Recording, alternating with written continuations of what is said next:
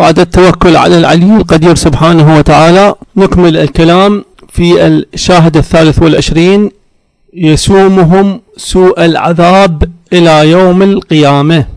وكان الكلام في رابعا تفسير ابن كثير وقلنا قال ابن كثير تأذن. وفي قوة الكلام يعني قوله تعالى تأذن يقول ابن كثير وفي قوة الكلام ما يفيد معنى القسم من هذه اللفظة ولهذا أتبعت باللام في قوله ليبعثن عليهم أي على اليهود إلى يوم القيامة من يسومهم سوء العذاب أي بسبب عصيانهم ومخالفتهم أوامر مخالفتهم أوامر الله وشرعه واحتيالهم على المحارم. ويقال إن موسى عليه السلام ضرب عليهم الخراج سبع سنين وقيل ثلاث عشرة سنة وكان أول من ضرب الخراج أي موسى عليه السلام ثم كان في قهر الملوك من اليونانيين والكشدانيين والكلدانيين وصاروا إلى قهر النصارى وإذلالهم وصاروا إلى قهر النصارى وإذلالهم إياهم وأخذهم منهم الجزية والخراج.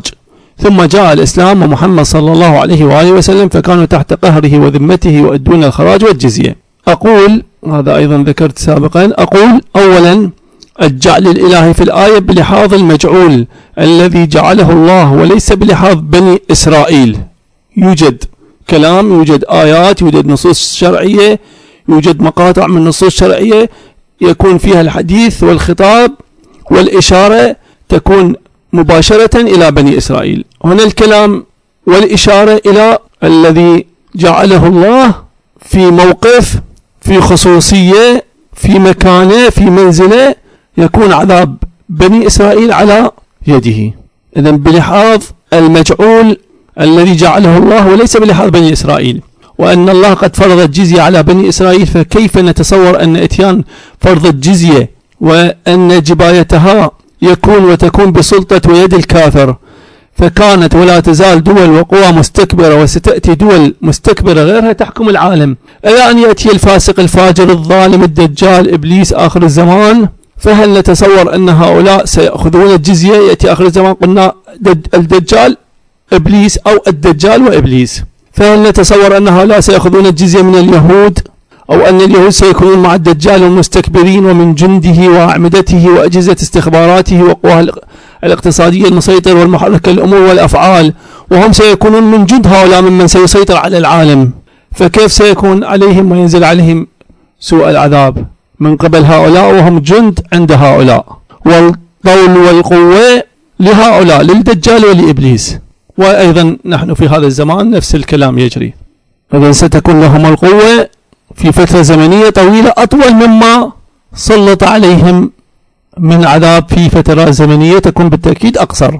وإذا كان الجعل إلهيا وكان بلحاظ المجعول وأن العذاب سيكون بأخذ الجزية وأن الانصراف الذهني الأولي يكون إلى المؤمنين الصالحين المرسلين والخلفاء المخلصين والمخلصين فيأخذون الجزية. فكيف يخالف ابن كثير ذلك؟ ويخالف الانصراف الذهني فيخلط بين المؤمن والكافر.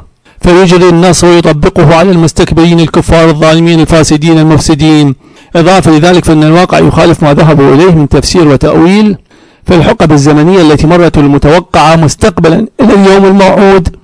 وحتى في فترة اليوم الموعود كما بينا قبل قليل لفترة طويلة من فترة اليوم الموعود أي اليوم الموعود نقصد به عصر الظهور. ليس نفس اليوم وإنما إذا نريد أن نقول إلى اليوم الموعود وأيضا لفترة طويلة ما بعد اليوم الموعود. لاحظ يعني إلى ظهور الإمام سلام الله عليه. نقول إلى ظهور الإمام سيبقون هكذا وما بعد ظهور الإمام أيضا ستكون لهم القوة والسلطة والسطوة ولا يسلط ولا ينزل عليهم العذاب ولا يوجد من ينزل أو من ينزل أو من سيكون على يده إنزال العذاب عليهم. حتى ما بعد اليوم الموعود حتى ما بعد ظهور الإمام سلام الله عليه. أقول في الحقبة الزمنية التي مرت المتوقعة مستقبلا إلى اليوم الموعود وإلى ما بعد اليوم الموعود لفترة طويلة تشير وبوضوح إلى أن الفترة الأطول جدا ليس فيها جزية على اليهود. فلا مناص من ذلك إلا بالقول إن التطبيق والمصداق الأوضح للآية أن يكون ذلك التسليط في آخر الزمان. عصر ظهور المهدي الموعود والمسيح الموعود والدابة الموعودة مع وجود السفياني والدجال وإبليس وجندهم ومنهم الجن واليهود. ثانيا نحن نشهد الواقع فإنه لم يأتي يوم القيامة وصار اليهود عشرات السنين. ليس فقط لم يكونوا تحت قهر أحد بل أنهم جعلوا الآخرين تحت قهرهم وذمتهم يؤدون إليهم الولاء والخراج أضعافا مضاعفة من المسلمين من القادة من الحكام من, ال... من الناس من الجماهير من الأفراد من الأشخاص. صار هؤلاء هم من يؤدي الجزية إلى اليهود.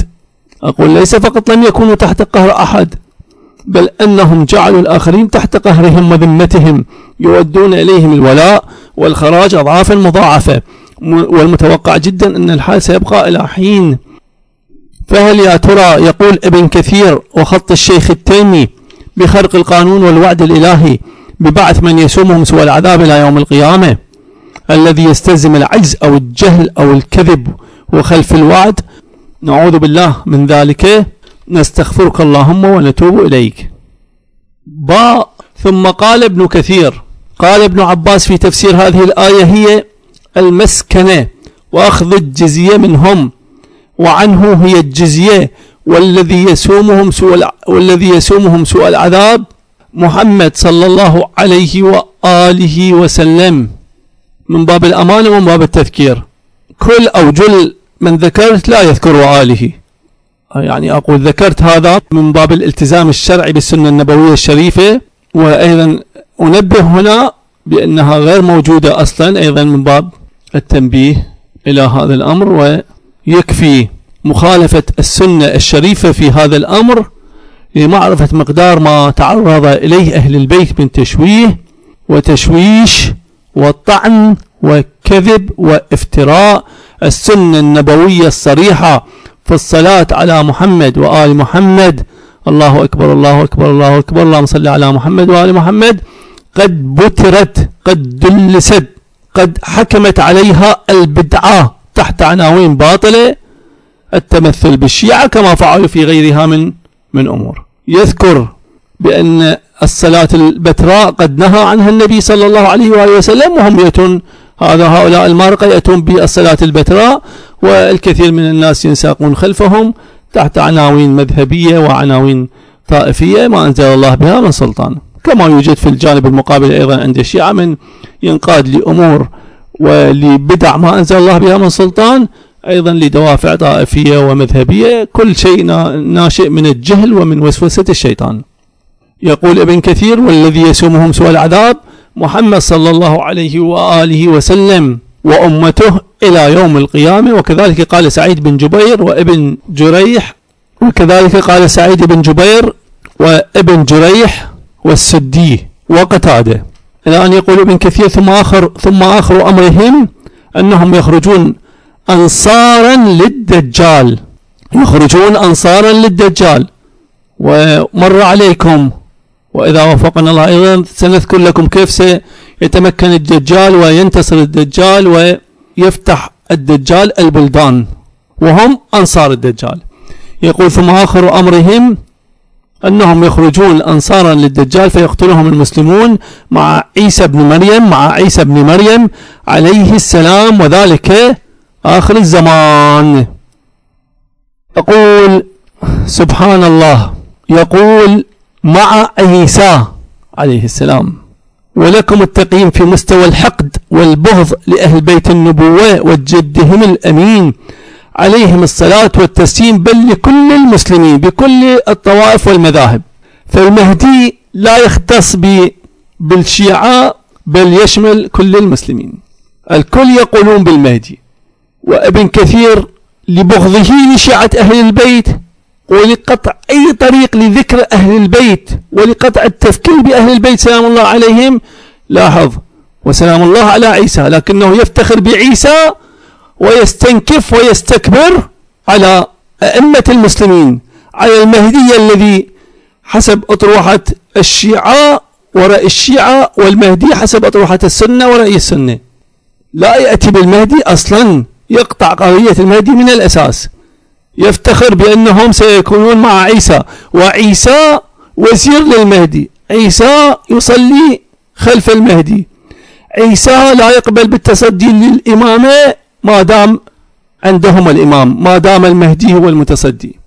أقول لكم التقييم في مستوى الحقد والبغض لأهل بيت النبوة وجدهم الأمين عليهم الصلاة والتسليم فيذكر عيسى عليه السلام ويوحي بأنه المنقذ والمخلص في آخر الزمان على قول ومنهج النصارى.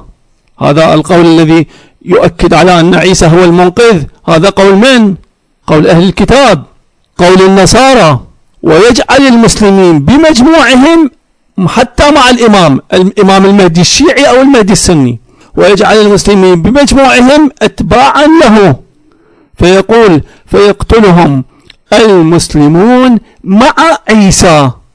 فإنه حتى لم يذكر ما ذكره البخاري ومسلم من أن فيكم الذي يصلي عيسى خلفه. عن أبي سعيد الخدري رضي الله عنه قال قال رسول الله صلى الله عليه وآله وسلم من الذي يصلي عيسى بن مريم خلفه؟ رواه أبو نعيم في أخبار المهدي وفي صحيح الجامع الصغير وقال الألباني صحيح. ثانيا قال الحافظ أبو الحسن الآبري قد تواترت الأخبار واستفاضت عن رسول الله صلى الله عليه وآله وسلم بذكر المهدي وأنه من أهل بيته وأنه يملك سبع سنين وأنه يملأ الأرض عدلا وأن عيسى عليه السلام يخرج فيساعده وأن عيسى عليه السلام يخرج فيساعده على قتل الدجال وأنه يؤم هذه الأمة ويصلي عيسى خلفه.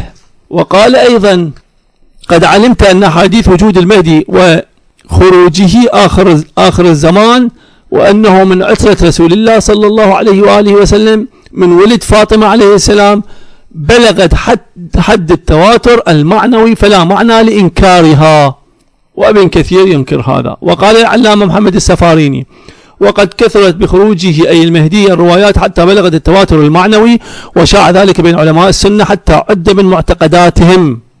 ثم قال وقد روي عن من ذكر من الصحابة وغير من ذكر منهم رضي الله عنهم بروايات متعددة. وعن التابعين من بعدهم ما يفيد مجموعه ما يفيد مجموعه العلم القطعي فالإيمان بخروج المهدي واجب كما هو مقرر عند أهل العلم ومدون في عقائد أهل السنة والجماعة. والبخاري قال في أحاديث الأنبياء ومسلم قال في كتاب الإيمان قال رسول الله صلى الله عليه وآله وسلم كيف أنتم إذا نزل ابن مريم إذا نزل ابن مريم فيكم وإمامكم منكم. كيف أنتم إذا نزل ابن مريم فيكم؟ وإمامكم منكم. الإمام منكم من المسلمين. من يقول؟ البخاري. ومن يقول؟ مسلم يقول. وابن كثير يخالف البخاري والمسلم. يستنكف من ذكر المهدي.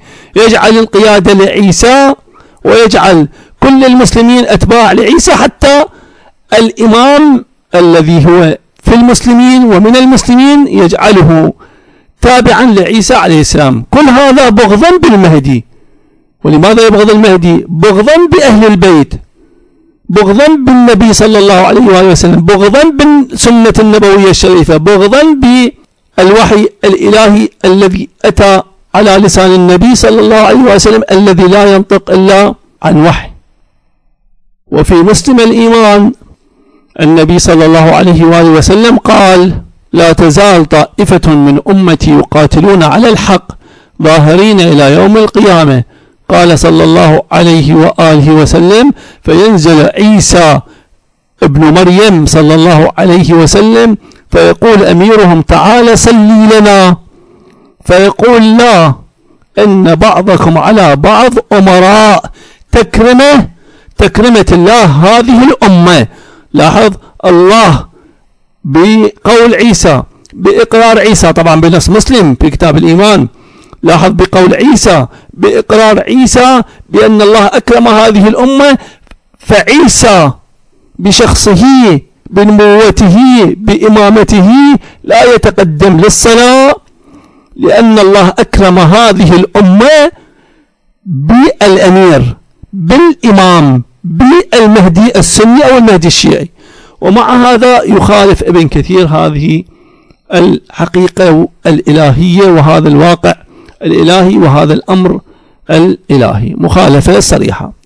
أقول ساعدكم الله يا أهل بيت النبوة كم تحملتم من الخوارج النواصب المارقة على طول التاريخ. اللهم لعن مبغضي آل بيت محمد الصادق الأمين عليهم الصلاة والتسليم. وعلى كل حال فإن هذا إقرار من الخط التيمي أن عصر ظهور المهدي وعيسى من تطبيقات هذا النص القرآني الشريف. إذا مهما قالوا فالنتيجة التي نريد أن نصل إليها هنا والتي تهم أيضا في البحث هو أنهم يقولون يوم اليوم الموعود يوم ظهور المهدي والمهدي وعصر الظهور وما بعد الظهور هو من تطبيقات هذا النص القرآني وهذا الشاهد القرآني والذي يحصل فيه تطبيق لهذا الشاهد القرآني وهو الذي سيسومهم سوء العذاب أي على يد المهدي سلام الله عليه أو في عصر المهدي أو من المهدي وتحت قيادة المهدي سلام الله على المهدي.